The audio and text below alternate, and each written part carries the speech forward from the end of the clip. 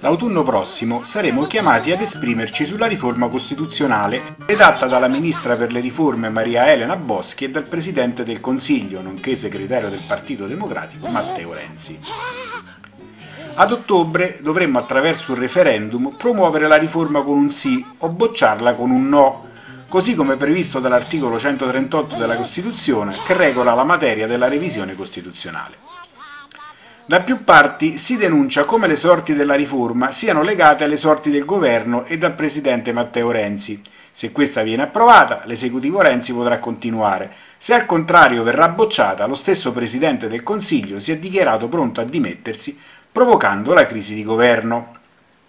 Un out-out istituzionalmente improprio e fuorviante che deformerà il giudizio popolare sulla riforma e lo trasformerà in giudizio sul Premier e sul suo governo.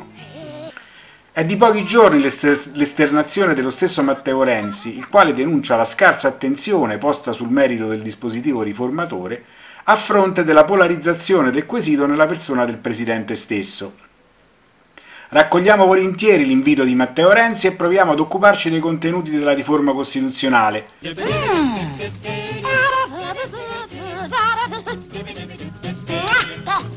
Cominciamo dalla fase principale, ossia come il Parlamento determina le leggi. La materia è descritta nel nuovo articolo 70 che sostituisce il vecchio articolo 70 scritto nella Costituzione repubblicana e ancora oggi in vigore. Secondo questo articolo, la funzione legislativa è esercitata collettivamente dalle due Camere per le leggi di revisione della Costituzione e le altre leggi costituzionali, e soltanto per le leggi di attuazione delle disposizioni costituzionali concernenti la tutela delle minoranze linguistiche, i referendum popolari, le altre forme di consultazione di cui l'articolo 71, per le leggi che determinano l'ordinamento, la legislazione elettorale, gli organi di governo, le funzioni fondamentali dei comuni e delle città metropolitane e le disposizioni di principio sulle forme associative dei comuni, per la legge che stabilisce le norme generali, le forme e i tempi della partecipazione dell'Italia alla formazione e all'attuazione l'attuazione della normativa e delle politiche dell'Unione Europea, per quella che determina i casi di ineleggibilità e di incompatibilità con l'ufficio di senatore di cui all'articolo 65 primo comma e per le leggi di cui gli articoli 57 sesto comma, 80 secondo periodo, 114 terzo comma, 116 terzo comma, 117 quinto e nono comma, 119 sesto comma, 120 secondo comma, 122 primo comma e 132 secondo comma. Le stesse leggi, ciascuna con oggetto proprio, possono essere abrogate, modificate o derogate solo in forma espressa e da leggi approvate a norma del presente comma. Le altre leggi sono approvate dalla Camera dei Deputati.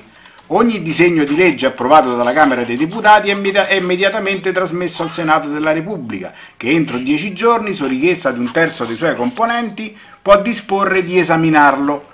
Nei 30 giorni successivi il Senato della Repubblica può deliberare proposte di modificazione del testo, sulle quali la Camera dei Deputati si pronuncia in via definitiva. Qualora il Senato della Repubblica non disponga di procedere all'esame, ossia inutilmente decorso il termine per deliberare, ovvero quando la Camera dei, Deputati si sia pronunciata in via definitiva, la legge può essere promulgata.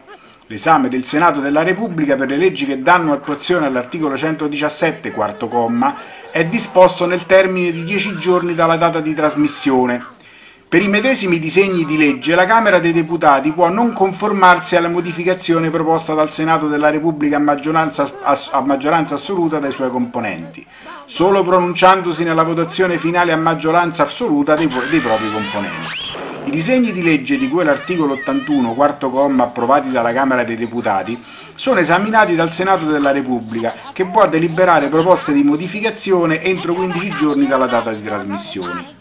Di trasmissione scusate, però è, è, i presidenti delle Camere decidono d'intesa tra loro le eventuali questioni di competenza sollevate secondo le norme dei rispettivi regolamenti.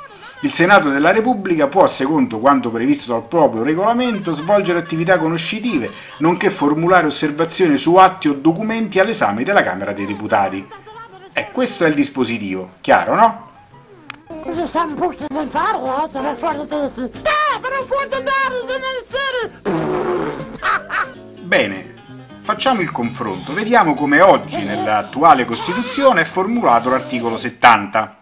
L'articolo 70 oggi recita la funzione legislativa è esercitata collettivamente dalle due Camere.